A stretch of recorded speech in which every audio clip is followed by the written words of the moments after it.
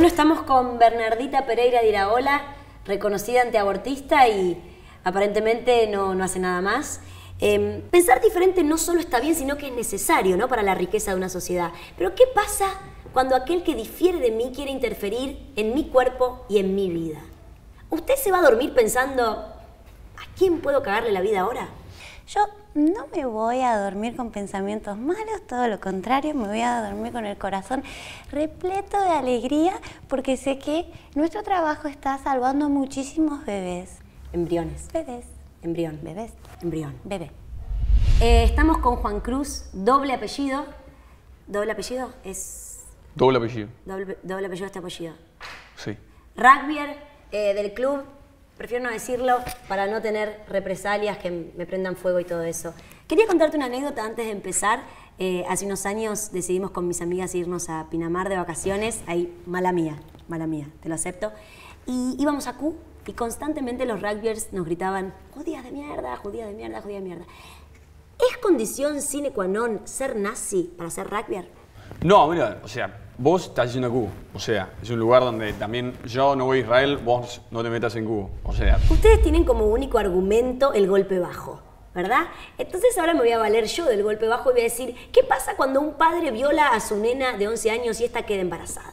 Bueno, nosotros sabemos y creemos también, sobre todo creemos que siempre hay que poner la otra mejilla y eso nos da toda la fuerza para pensar que esa criatura, si nosotros la protegemos el día de mañana, por más que haya salido de un acto poco feo, Poco feo. em, sea un ángel en esa casa, sea una bendición, se pueda llamar Carla, Nahuel, Matías, Sebastián. Una bendición en una casa donde el padre es un violador.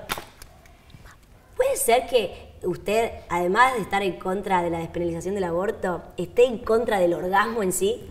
Yo creo que el orgasmo es un invento no solo de los hombres, sino también de las mujeres para justificar ese comportamiento salvaje y yo diría animal que eh, suelen tener. Una pregunta que está así, me vuela la cabeza hace años, hace años que quiero saber esto. ¿Cuándo pensás exactamente que ustedes van a poder dejar de usar náuticos? o sea, no, no sé por qué es eh, el tercer tiempo, mi, mi madre, eh, Jesús y, Y los, los- y los náuticos. O sea, los náuticos. Sí. Wow, tu primo sonasa. Tu primo. Gran menos gran. Sí. De 500.000 a 600.000 mujeres abortan por año en la Argentina. ¿Por qué este número a ustedes no les importa? ¿Por qué no lo reconocen? ¿Cómo es? Porque nosotros no somos personas de números, no estamos con No, una calculadora claro. todo el tiempo encima, estamos con, con otra que- cosa mucho más importante Sí. que son los valores. Las valores. La derecha siempre tiene como muchos problemas con los números, ¿no? Como que no tiene un problema de contabilidad, como que no fueron 30.000, este, no son 600.000. Usted va a la verdulería, también tiene problemas con los números, como que llega y dice, eh, deme cinco bananas y después dice, no, son cuatro, son tres. ¿Cómo maneja los números en su vida en general? Eh, ustedes claramente son seres muy violentos y no puedo dejar de relacionarlo con el hecho de que, bueno, están muy reprimiditos desde chiquitos con esta educación católica que les quema la cabecita. Eh, ¿Puede ser que esto devenga en una obsesión con ir a Brasil a matar gente? Puede ser, puede ser que lo hagamos, o sea, pero yo pienso que todo se rige por, por los códigos, ¿entendés? O sea, si vos venís, o por ejemplo alguien está mirando la mujer a, a un amigo, por códigos, ¿entendés? Yo tengo que hacer algo, ¿entendés? Entonces yo no me puedo quedar de brazos cruzados mientras, o sea, si lo tengo que matar es por códigos.